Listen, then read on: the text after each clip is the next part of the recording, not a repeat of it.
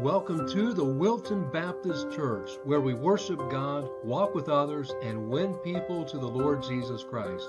I'm Pastor Steve, and our congregation is pleased to share this message with you today, and we pray it'll be a blessing and an encouragement to you.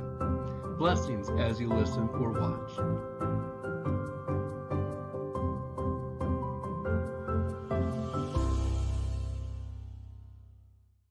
All right, Matthew chapter 20 in your copy of Scripture.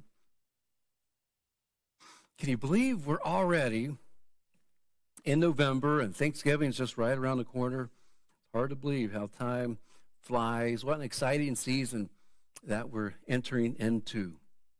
There's a little farm boy who received a little white football for Christmas, and he played with it a while. Then he, he kicked it over into a neighbor's yard in the adjacent uh, yard, and there's an old rooster that ran out, and he looked at that white football underground, and he went over to all the hens in his hen house and said, I, I don't want to sound like I'm complaining, girls, but you should see what the neighbors next door are doing with the egg. He thought it was like an egg, the big white football.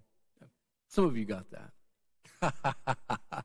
I read stuff, I laugh, and, and not everybody laughs like I do. But growing up, uh, we had some chickens and uh, some hens and some roosters as well.